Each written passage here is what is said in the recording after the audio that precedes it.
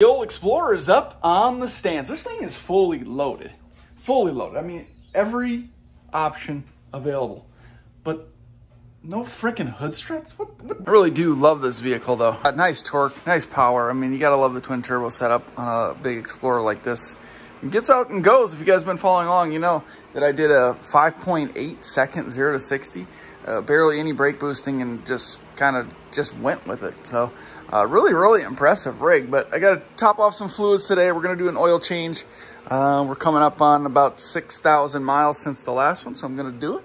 But I want to check the air filter. I'm going to take the engine cover off, take a closer look here. But what I really want to do is get under this thing. I'm just trying to think of some things I want to do to it uh, that I can convince my wife to allow me to do. I guess that's the main thing. I do have a part coming. I, will just go ahead and tell you because I don't know if you guys want to are going to watch this or not, but um, we're going to install an oil catch can, which I think this vehicle will benefit from. So I have that on the way. We'll do an installation, a little review for uh, the Ford Explorer guys or the EcoBoost guys uh, that may be checking out the channel. But I want to get under the car too and just see what's going on out there. I really haven't spent much time eyeballing this thing. There are a couple little dings uh, that I want to get taken care of a paintless dent removal style. Get some of the more prominent ones out with black. You can really see all of the imperfections.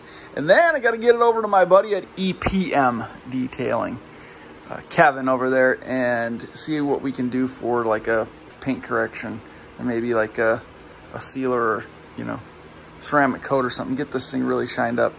It's been a little bit neglected. I, I intended to have it be a vehicle on the channel, channel but uh, you know, it's made a couple of appearances, but my wife just really wants me to not touch it. So I'm trying to respect her, trying to respect her uh, feelings there. But man, enough's enough. We gotta, we gotta do something with this thing. If, if I mean, accessories, can we get some aero on this thing? We got a chin splitter or, you know, different wheels. I, I mean, what can we do here? It is hot as balls in South Carolina. Golly just some little dress up things. I mean, that might make my wife happy too. She likes little accessories, you know. I'm gonna check this filter and see how she looks. Filter looks brand new, which is good. Just gonna clean up the edges a little bit. Toss her back in. Again, it's really only been in there for like 6,000 miles, but no need to even clean it up. It looks great. This is the AEM filter, by the way, if you guys are interested. 2820395. I want to say, doesn't say, is it, does it say dry? Yeah, dry flow. I want to say I looked for a dry filter for this car too. We like the AEM stuff. Dry is good. So to make it easy on myself, just loosen this and this pushes back and it pops the air, uh, the airbox cover right off. So no use in hassling. Older cars are a lot of fun to work on and the simplicity of them is awesome. But one thing that's great about working on new cars is that everything's so damn clean. It's so nice to be able to do something on your vehicle no matter what it is and not walk away like a disgusting mess. I mean, just so clean. Good as new. Oil change complete. Look how low this thing is. Pretty easy to work on. Maybe we need a lift. Maybe, should we put a lift on the Explorer? I just made that Amazon big brake video. Somebody just pulled out in front of me at about 45 miles an hour, locked them up. Stopped on a dime, baby. Finally Friday, trying to get to the house. Soul Function sent me some stuff to make up for the issue we had last weekend. We gotta get this thing ready to hit the dyno. That's just a couple days away, so heading up to Charlotte to Soho Motorsports, hopefully uh, meet up with my buddy Evan, Savage Panda Projects. Again, last time we went up there, did a little collab. We're gonna try to get some filming done this time around as well. It's been a really inconvenient time to T-bone somebody, I'll tell you that. You know what, I, I, really love Jeeps. Seriously, love Jeeps and I actually want one really bad. But when, when did it become a thing to stick your leg out the door? I mean, we get it, the doors are off, that's, that's cool. But now you gotta stick your leg out. I mean, it's not even a comfortable position to stick your leg out the door. You actually have to get it up and out and over to the side. It's not even convenient. There's, there, like, I, I just don't get it.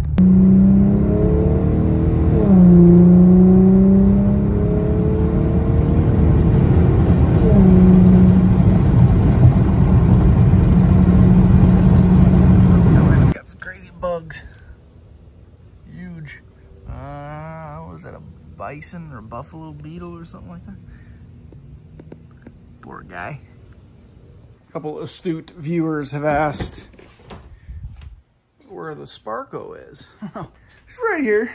She's right here in the garage. My back a couple of weeks ago, actually, just before we headed to Streetcar Takeover, a day or two before that. And that's about a two hour ride for us. So I said, I'm gonna pull that Sparco, put the regular seat back in and just kind of let my back relax for a few weeks. And it's been good. I gotta say, I can't remember, I, I, forgot how comfortable the factory seats were. Even though they're garbage vinyl and not real leather, they're very cushy and comfortable compared to, you know, aftermarket seats, obviously. So we're heading to the mountains in the next couple weeks or so, so the Sparco's going back in, don't you worry. I told you guys that Soul Function was very responsive to the issue I was having with the uh, the spacing issue with the, the, uh, the uh, four-point M brace and uh, I emailed them, let them know what was going on, and without even asking any questions or anything of that nature, they simply said, uh, we have some spacers and we have some um, some of the larger riv nuts in the mail for you. And they showed up. So I got one of the riv nuts that they had originally supplied to work.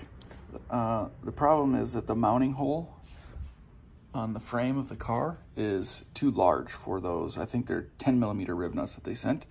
Uh, I got one of them to work. The other is just, I was, I was trying to flare it out a little bit to fit it into the hole, but it, it was just too small to grab uh, and it wouldn't be secure. So I, I, might have to try to pull the, the one that I did get to work out, uh, but they sent me some larger 12 millimeter ones. I just told them some of the, the issue that I was having. I was going to have to, I asked actually for a part number to see if I could get it, get one to replace. Uh, and they just sent me two of the bigger ones. So that's pretty awesome.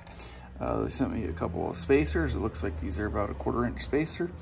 Uh, so this may work. We'll have to get under the car and, and see if it gives us uh, enough clearance for the test pipe. If not, we'll just have to figure something else out. Things happen and parts are not always exactly the same and things don't always work out exactly how they're supposed to. And you got to understand that when you're buying parts for your vehicles. It'd be nice if you knew everything that ever came to you would work perfectly and just how it's supposed to, but it's just not the nature of the beast. So the only thing that really makes that better or eliminates some of that frustration when things like that happen is the companies is when the companies that you're working with are really responsive and really helpful. And I gotta say Soul Function uh, checked all those boxes. I emailed them on Saturday, I think. Saturday, Saturday, sometime during the day. And I believe I had a response from them on Sunday, even though they're obviously outside of their normal operating hours. Conceptz also responded right away during the weekend. They responded, responded immediately. Uh, you know, seeing what they could do or seeing what the issue actually was, and we're willing to reach out to Soul Function themselves. So Conceptz Performance, again, they they were really responsive as well. So both companies that I worked with uh, were excellent, but the fact that Soul Function just, uh, without questioning me whatsoever, uh, you know, just by the information that I gave them, they simply just sent the little package out to me without even me asking. And again, all I did was ask for a part number or how I could purchase an individual riv nut and then just mentioned the spacing issue, uh, wondering if that's something they've experienced. And they just said, no, sounds like you need, you might need a couple of spacers. So they put them in the pack with the riv nuts and shot them my way. So really, really appreciative to Soul Function. Uh, again, just working with good companies that are really helpful and really responsive and they want the uh, customers to be happy with their, with, their you know, their parts and, and things. Uh, that makes everything a hundred times easier. But you guys need to stick around for the uh, review videos. I'd love to, uh, you know, recommend a part simply based on the uh, experience with the vendor themselves, but we have to test it out. We have to see if these things actually work. So we're gonna try to get them installed tonight. Uh, which is Saturday. Hopefully tomorrow I'll have an opportunity to drive the car a little bit, maybe get it up to Paris Mountain or something and take it on a couple of twisty roads and see if we can tell a difference, uh, give you sort of an initial reaction. Um, so stick around for that. If you guys have been following along, you'll know we're going up to Soho Motorsports in the next couple of days. We got to test uh, some different part combinations, and I got those two and a quarter inch test pipes uh, to install. So I want to prep those and get those ready for the dyno. Uh, we're gonna check out and check them out and see if we can actually make a little bit more torque with the two and a quarter inch test pipes, which I'm very, very confident that we're going to be able to do. Uh, so I'm gonna get those test pipes ready. Okay, I don't know about a project car. I think this is the next thing. Screw a golf cart in the neighborhood. we'll tear the neighborhood up in this thing. And here we are again.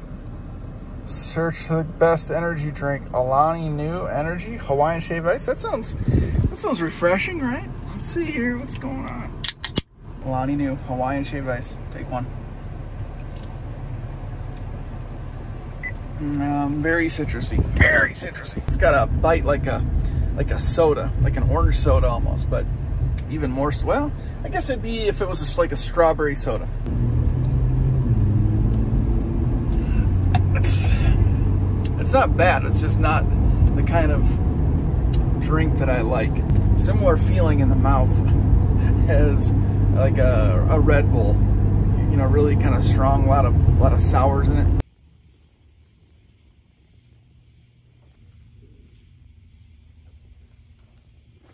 So you can see where I got the first riv nut in and it's pretty firm in there, pretty solid.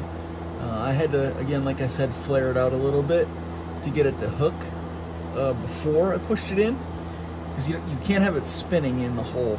Uh, but here's the new one. This is a 12 millimeter compared to the 10. I'm gonna try it on the other side here. So it's still pretty small compared to the hole. It probably spin, so I might have to still flare it a bit. Uh, but I think the spacers are gonna work. Just needed a little bit of room between the the brace and the resonator. Um, but I think that quarter inch is all it's gonna take to, to, to give me the clearance I need. So I think we're looking pretty good. The lateral braces are looking good under here, still firm. Um, pretty pumped to get all these put in and uh, test this thing out.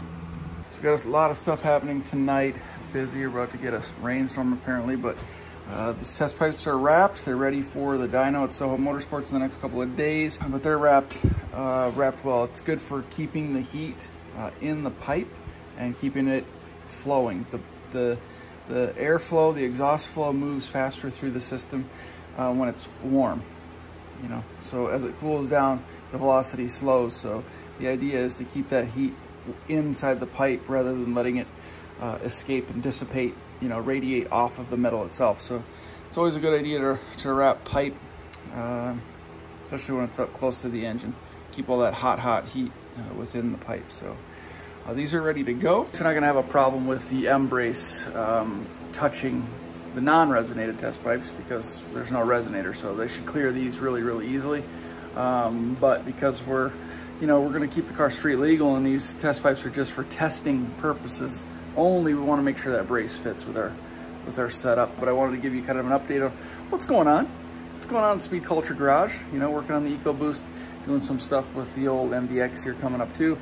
Um, test pipes are wrapped.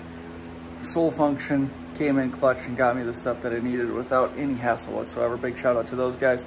Uh, but I'm gonna get to work, start filming some more videos, more content coming your way, guys. And stick around for the testing, the test drive with the Soul Function brace.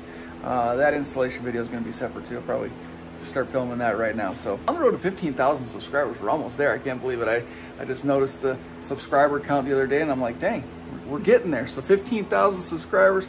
Probably have a, a, good giveaway. We still got to give away that uh, leather airbag cover from Holisco's Carbon Fiber. So maybe that'll be the 15,000 subscriber celebration coming up here in the next couple of weeks. So thank you guys very much for the continued support. We'll see you in the next one.